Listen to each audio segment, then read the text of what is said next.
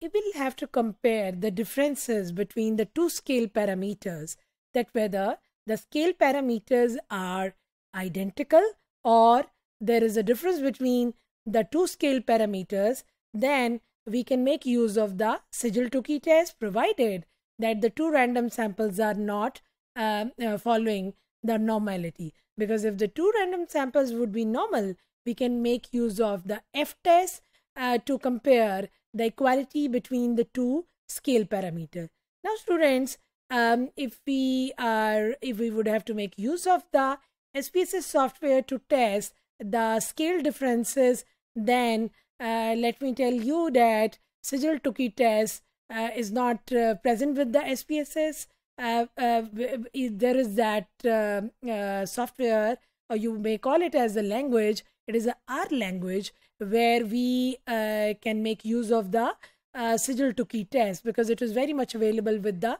R language. But as far as the SPSS software is concerned, we can make use of the Levene's test that may be used to test the homogeneity of the variances. So if our uh, two random samples are not random, we can make use of the non-parametric Levene's test to test the differences between the scale parameters. So students, I will be giving you the demonstration onto that, that uh, what kind of variables you require and how to enter the data into SPSS to make use of that test to uh, test the scale differences. Now the problem in hand is it is a data about weights of the two groups that have been given to you. Test the hypothesis at 5% level of significance that there is a significant difference between the variability of the weights of the two groups. So students, the data for weights uh, which are which is being denoted as x and for the y that is being uh, given to you and we are going to consider that both of the samples are uh, uh independent as well as the random samples. So provided that the two uh, variables are uh, random in nature, uh, we uh, are going to first test that whether the two required variables x and y, uh, they follow the normality or they are not following the normality. If they follow the normality, then we can simply test the scale differences by employing the Levene's test for parametric uh, data. Whereas if the assumption of normality is not met, with two particular sample students, then we would have to employ the uh, Levene's test which uh, for the non-parametric data. Now students, first of all, I have already tested that whether the weights of the two groups are uh, following the normality. So I have tested them. So data becomes normal. So first of all, you would have to test that weight X and weight Y, both of them are normal. So if they are normal, then we can make use of the uh, F test. Whereas if the both of the samples are not random, uh, not normal, then we can make use of the Levene's test uh, for the non parametric data so students यहाँ पे मैंने weight X और weight Y जो कि मेरे two variables थे weight X और weight Y उनकी मैंने नॉर्मेलिटी ऑलरेडी टेस्ट कर ली है and uh, it is uh, showing that both of the variables are not following the normality. So I can make use of the non-parametric Levene's test uh, uh, to test for the test for the scale differences. Now, uh, the basic requirement is that first of all, you would have to get them into single column. The both the weights are being taken into a single column और उसको मैंने define किया है by the name of weight यानी students आप variable view में गए आपने वहाँ पे दो वेरिएबल डिफाइन किए हैं one with the name of weight and other by the name of group weight के वेट क्योंकि as you know that it is a continuous variable तो इसको जो मैंने असाइन किया है जो आपका स्केल है that is being scale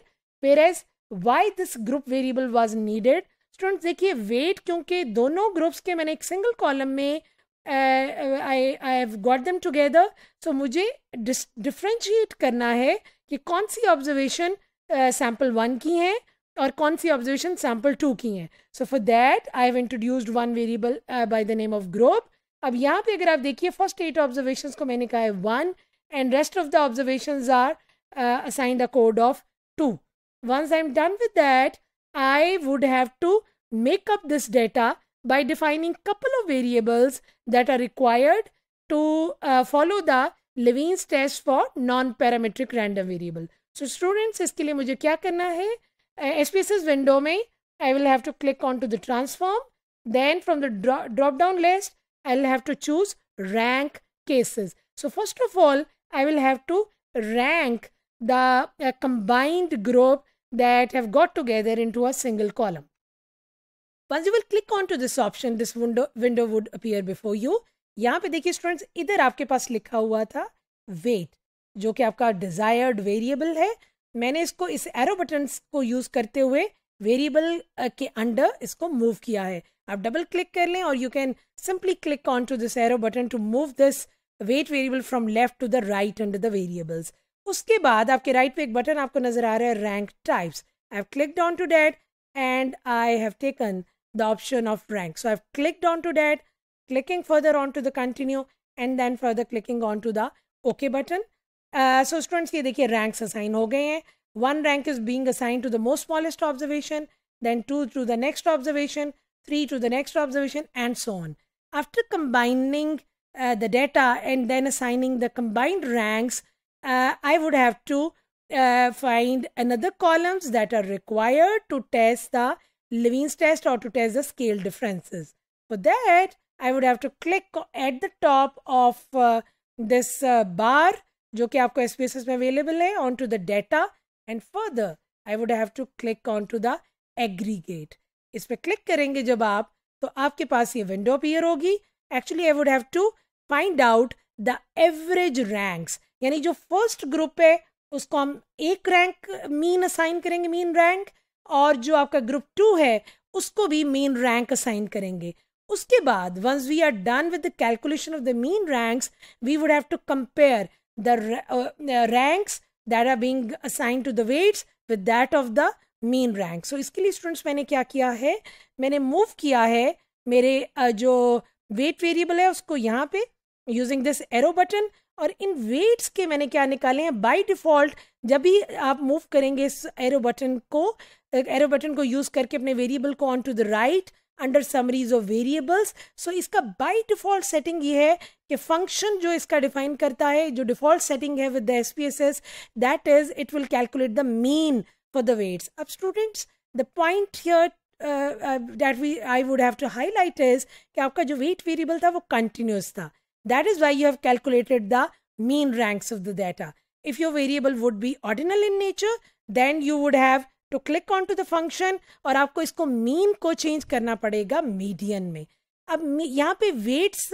weight of the mean by default assign हो गया है। Uh, एक वेरिएबल उसको नेम कर दिया एस ने। मैंने ओरिजिनल जो मेरे पास वेट्स थे उनकी एवरेज कैलकुलेट कर दी। उसके बाद मैंने यहाँ जो ग्रुप वेरिएबल था जो कि डिफाइन कर रहा था that which observation is belonging to which group उसको मैंने मूव किया under the break variable once I am done with that Then I've clicked on to the transform at the top. I have clicked on to the option of compute variable. And then uh, once I'm done with that, तो ये मेरे पास एक window open होगी यहाँ पे जाके students आपने absolute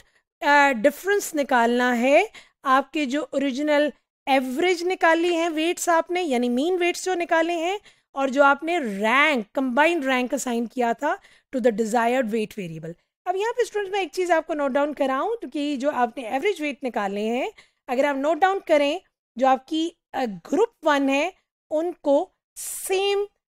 mean आपने असाइन हुआ है जो कि कैलकुलेट किया है एस पी एस एस ने। Whereas rest of the values that belong to group two उनको exactly identical mean rank assign किया गया है। सो so, इन इस रैंक मीन रैंक को मैंने सब्ट्रैक्ट किया है रैंक वेट में से। अब देखिए यहाँ पे कुछ रैंक्स आपके पास पॉजिटिव आएँगे। जब आप ये डिफरेंस कैलकुलेट करेंगे sum of the differences will be positive whereas rest of the differences would be negative now in order to apply the test we don't require the negative uh, you know differences or deviations. So अब हमने क्या करना है? Further absolute function लेना है which is a mathematical function ये मैंने कैसे लिया? I have clicked onto the all under the function group. Then I further click onto the absolute. Using this arrow button, I have moved it over here और यहाँ पे मैंने absolute लिखने के बाद जो कि यहाँ मूव हो चुका है